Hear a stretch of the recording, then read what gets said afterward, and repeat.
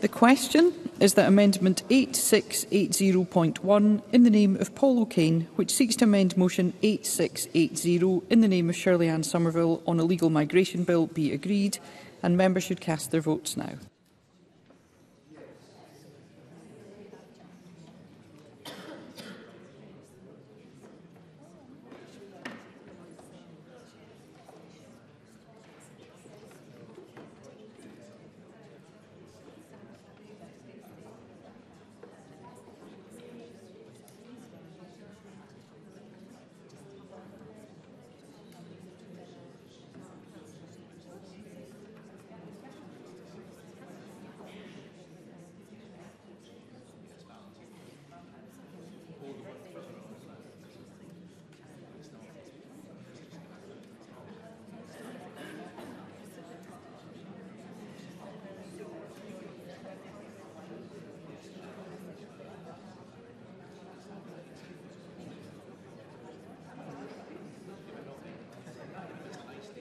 The vote is closed.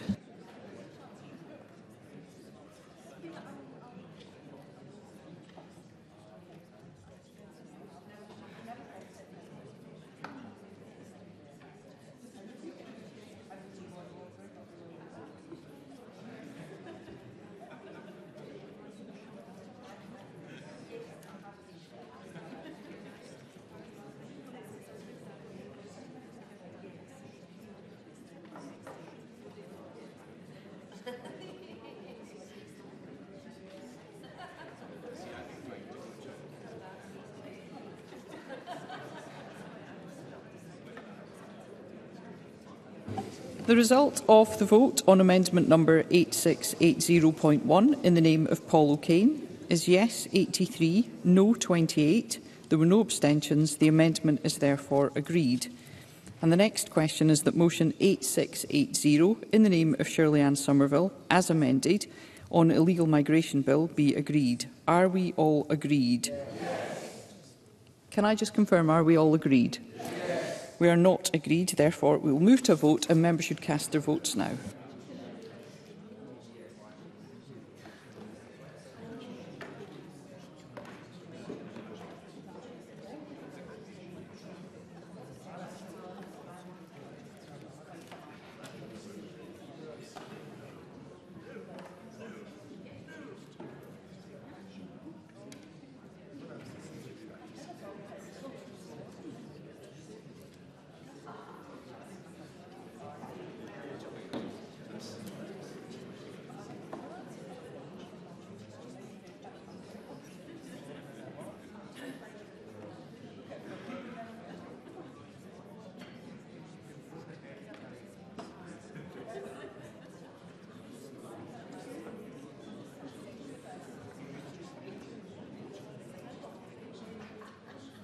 The vote is now closed.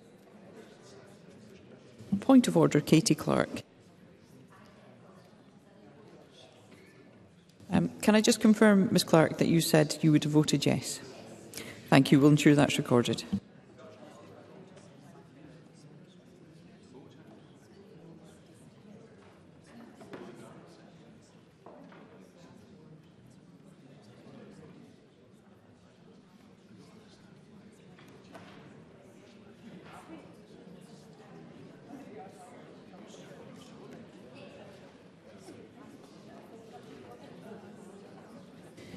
The result of the vote on motion 8680 in the name of Shirley Ann Somerville as amended is yes 82, no 28, there were no abstentions.